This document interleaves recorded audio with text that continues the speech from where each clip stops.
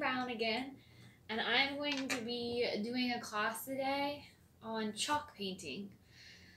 Um, I don't know about you guys, but I've been doing a lot of chalking since the weather's been nice outside, and I was thinking, well, what can I do with my leftover chalk pieces? And I know a lot of other people, especially now that it was just Easter, might have some leftover chalk pieces. So I thought, well, we can make some paint out of them, and we could also make a sunset picture out of that on watercolor paper. So what we're going to do first is we're going to get our chalk out. The chalk that I have, I got a couple different kinds just to show examples of the different colors. This kind, the Crayola, these are pretty bright colors, so they're going to make your colors a lot brighter.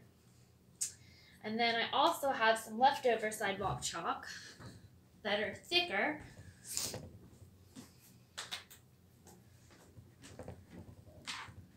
And those are like these ones. So you've got like the basic colors, the blue, the orange, the green, but these colors are a lot lighter. But once you mix them with water, then they become a little more uh, bright and they have more color to them. So, to get your pieces ready first, you're going to need a hammer and you're going to need your chalk. It's good to put out a towel down on your table if you do this on your table. Also might be best to do it on your floor. And you'll need paper towels. So I'm just going to do some examples for them, and then I've already got some colors mixed up that I'll share with you. So for an example, we'll just go ahead and do this red chalk. And you'll take the paper towel and set it in there. And then fold the paper towel over top so that it doesn't go everywhere when you hammer it. And you don't need to hammer it really hard. Just need to bang it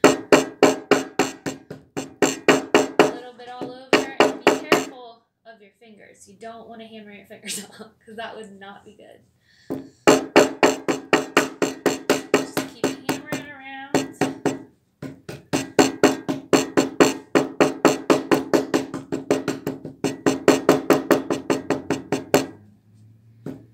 All right. And then once you'd hammer it down, it's down into a powder form. You'll get plastic cups and you'll want to have a cup for each color that you do. So you'll get a plastic cup and you'll fill it with water to about here. So I've got my extra water right here. Pour that in. And then you'll take your chalk. It's easier if you fold it like a hot dog style and then you dump it in. You'll want to have a brush handy so you can mix it all together. And the water will also break down the chalk clumps. So you'll just mix that in. And it's okay if the chunks don't all go away at first. And this is what it will look like inside. And then for the bigger pieces, I'll do an example of one of those for you too, so you can see how we crush it up. So I'm just to do a little piece of yellow. It's like a very pale yellow. So we'll fold the tablecloth.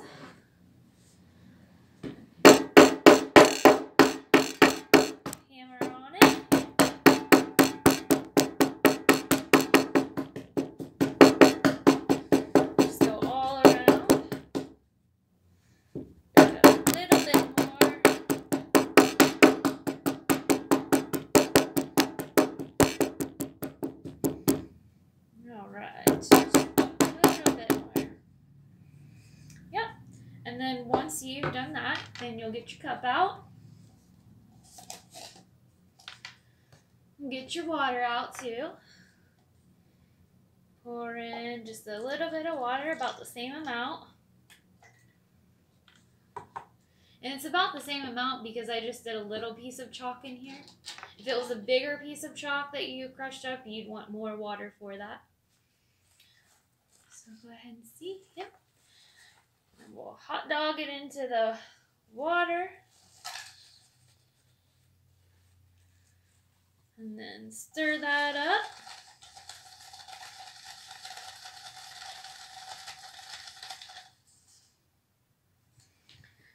See, it makes a really pretty yellow. And I'll show you the other colors that I made. We did orange. And this was the sidewalk chalk blue, so it's a really light, pretty blue. And then this was the teacher chalk, and it was a darker blue. Then we did a really pretty green one.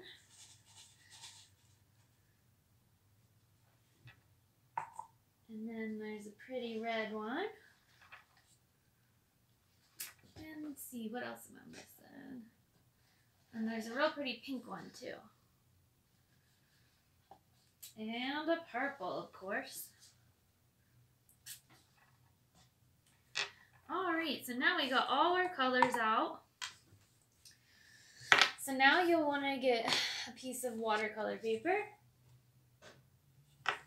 And the water paper is good because it's thicker. If you just try to use regular computer paper, unless it's cardstock, it's going to tear when you're painting on it. And you can find this kind of watercolor paper at Joann Fabrics or sometimes if you're lucky, Walmart. They also sell watercolor paper that you can find um, at Walmart and at um, Dollar General and sometimes Family Dollar. And you can order it online too. So, I've got a piece of paper and we're going to start off, because we're doing a sunset, we're going to start off with the sun part first. So, we're going to start with the sun right here. So we're going to use the yellow first. Find my yellow. And I'm using this size of a brush. It's a good size, especially if you're making brush strokes and with the sunset. So mix the yellow up real good. And then you'll start by making a circle down at the bottom. And you'll want to keep dipping your brush into the chalk too. Just so you can make sure that you get that bright color out of it. So we're doing half a circle at the bottom of the paper. And then once you've done the yellow, you're going to get out the orange that you have. Make sure it's mixed up real nice. And we're just going to go around the outside of the sun. And that kind of just gives it a little glow on the sun. Bring it in a little bit too. All right, here we go.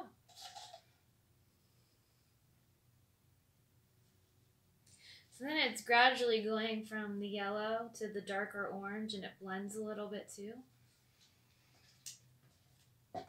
And usually with the sunset, you have all the pretty pinks and purples down here, and then it gets a little bit darker into the night sky. So we're going to jump on up to the top part now. Let this part dry just a little bit. We're going to start off with your darkest blue chocolate you have. And go up to the top part. Start from one end and just go all the way over. And you'll go back and forth on that.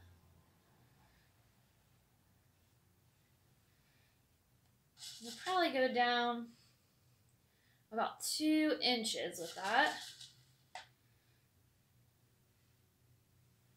And then once you're down about the two inches, then you'll get a little more playful with it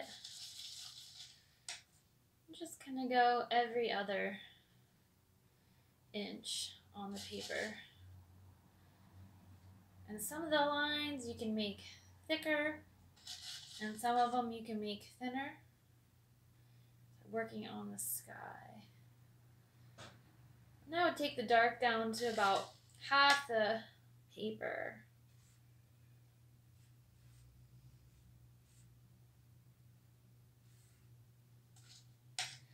All right. Now we're going to get the lighter blue.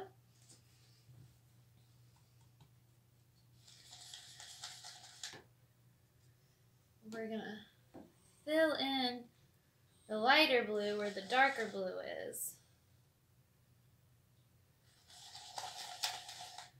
Just going to kind of play in there a little bit. Go back and forth. And I would still leave a little bit of white showing in there. Next color I'm going to use is the purple. And the purple, you're going to go in between on your white spots in the sky. So if there's still a white line in there, you can put a little bit of purple in there.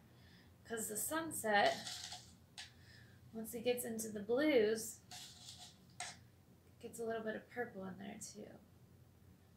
Just looks really pretty.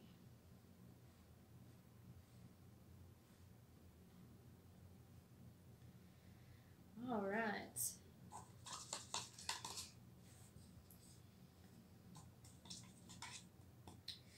And now we're going to use a little bit of the pink.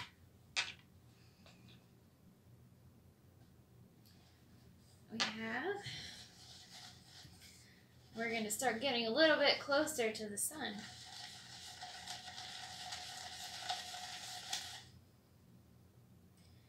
So you're going to go all the way across with the pink, just an inch above the sun. And then just make some playful marks around that. And you'll want some of them going up into the blue and on top of the blue, but only about an inch or two into the darker colors because the lighter colors eventually fade just into the dark.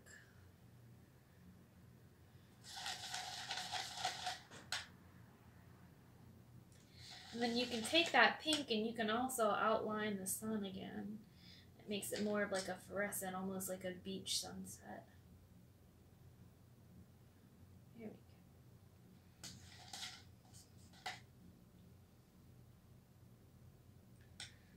Alright. Then we're going to get out the orange again. So rinse my brush off. Get out the orange. We're just going to go in with the orange a little bit in between the pinks. And I've got a couple oranges. This orange is the lighter orange that I have.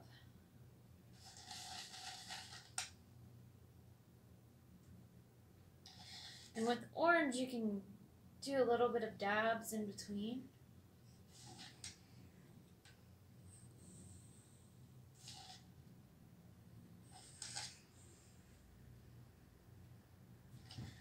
Alright. Now we're going to use a little bit of yellow in with that. So you'll just go into where the oranges are with a little bit of yellow.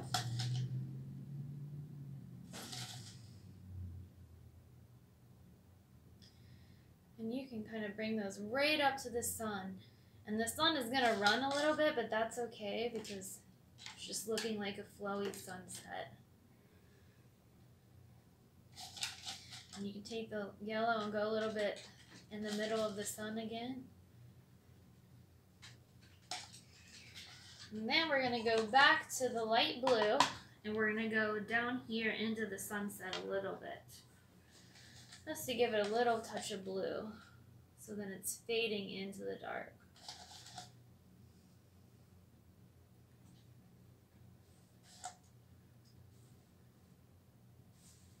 And some of your colors are going to run together. But that's how a sunset looks.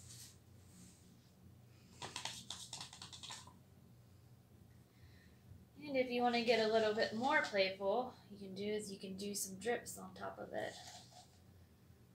The different colors.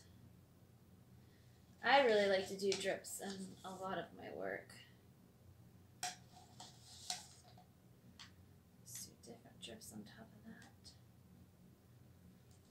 Rinse my brush off, and I'm gonna do a little bit of drips of pink on there too. Let's see, where's my pink? Here we go.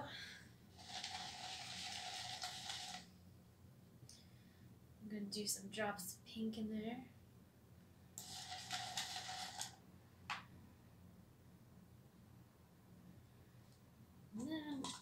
Maybe a couple drops of the darker blue up top. So it gets a little bit darker on the top.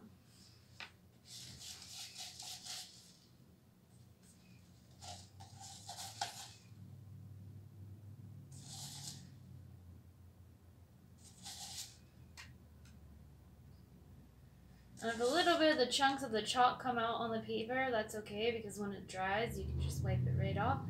Or you can just wipe it right off with your brush.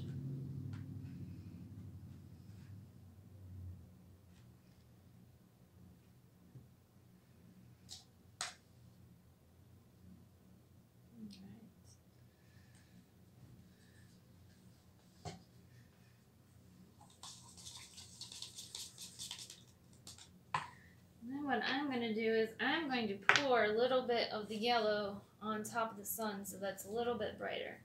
Make sure it's stirred up a little bit first. Just going to do a little bit. There we go. And by pouring that onto there, then the water is just going out and spreading out. The sunset's growing.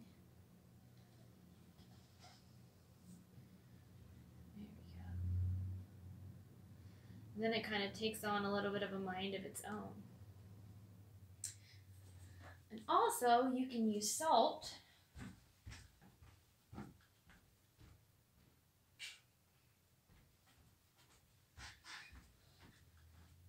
When you put salt onto the picture, it adds a whole nother element. It crystallizes and spreads out. It looks really cool. So I like to add some salt sometimes to things. Um, you can use regular salt. I happen to just have mixed up salt seasoning, but regular salt works fine with that. So if you want to add another effect to it, just put on the salt.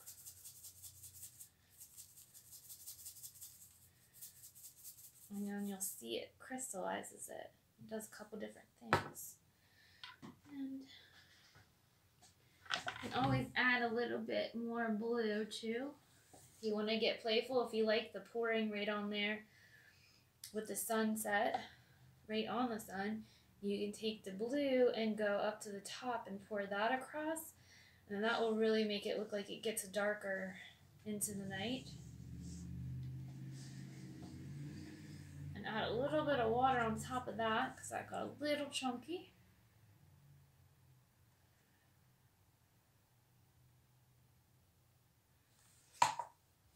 And then you can brush off the clumps after or you might even like that effect and you can leave the clumps on there. Have a little 3d effect. If you do that and you want the clumps to stay wait until it's completely dry and then you can get a clear coat spray. You can find that in the spray paint aisle and you can do a, a spray of clear coat on top of it to hold it all into place and you want to do a couple coats of that. And it would just be a clear coat spray Clear, a clear coat spray enamel. Just get playful in there a little bit and go across some. All right. So that is how you do a painting with chalk. And with your leftover cups that you have, that you've leftover chalk, what you can do is you can get the paintbrushes out. You might want to get an old paintbrush and have the kids go paint out on the sidewalk with it, or even adults. You can get a little more detailed in with painting with a brush and do all kinds of cool designs and see how it turns out. Well, thank you so much for having me do this class and for painting with me. Thank you to the Muskingum County Library System for having me. I really appreciate it, and I hope that you all have a wonderful day and stay safe. Thank you.